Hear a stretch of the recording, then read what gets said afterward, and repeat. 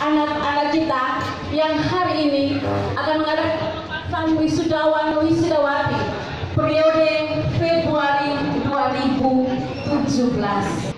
Saya mohon kesediaan Sekretaris Ikatan Keluarga Alumni Fakultas Hukum Undana, Ibu Aski Damaris Rishi, dengan bangga dan dengan berbesar hati saya menyambut kehadiran teman-teman sekalian dalam forum Ikatan Keluarga Besar Alumni Fakultas Hukum Undana. Saya ingin berpesan Jangan bermimpi untuk menjadi PNS.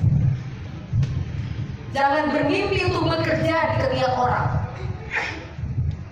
Jadilah pencipta pekerjaan bagi diri sendiri dan bagi masyarakat NTT. Jangan bermimpi menjadi orang-orang hebat, orang-orang sukses, orang-orang kaya, menjadi pejabat. Jangan pernah, tapi bermimpilah menjadi orang baik. Karena orang baik pasti sukses. Orang baik walaupun dia tidak kaya, tapi dia bukan pelakon korupsi. Bukan penikmat dari hal-hal yang tidak sesuai dengan visi dan misi alma mater kita. Karena visi dan misi alma mater kita salah satunya hukum harus menjadi panglima. Papa mama yang saya hormati dan saya banggakan. Jangan pernah memaksa anak dan menilai anak sukses kalau menjadi PNS. Karena budaya dan pikiran seperti itulah yang merusak generasi ini. Dan buat alma mater tercinta, mari kita sama-sama memperbaiki pola pendidikan kita, kurikulum kita, agar menciptakan mahasiswa yang siap menjadi pencipta lapangan kerja. Kita akan mendengarkan sambutan dari Bapak Dekan Fakultas Hukum Undana. Waktu kami berikan.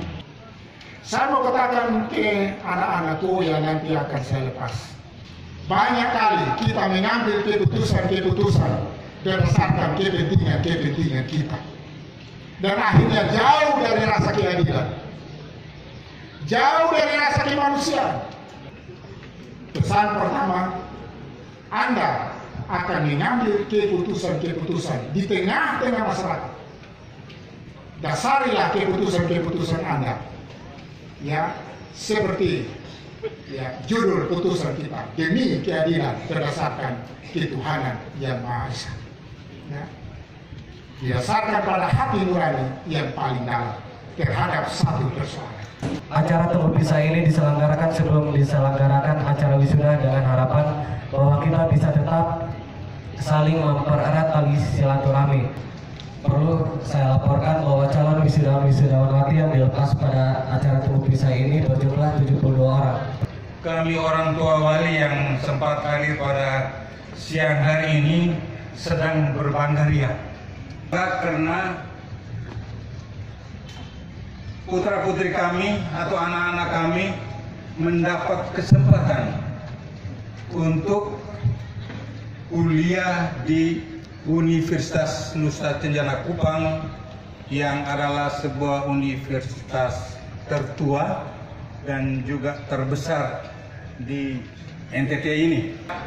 Saya atas nama orang tua wali yang hadir menyampaikan ucapan lima limpah terima kasih kepada yang pertama Bapak Dekan Fakultas Hukum Undana serta seluruh dosen segenap sivitas akademika Fakultas Hukum Undana Kupang. Baik, kita saksikan bersama-sama acara pelepasan wisuda wisudawan wisudawan hari ini dengan melepaskan balon warna-warni ke udara. Tanda kita melepas mereka dengan ikhlas. Tuhan memberkati. Ya.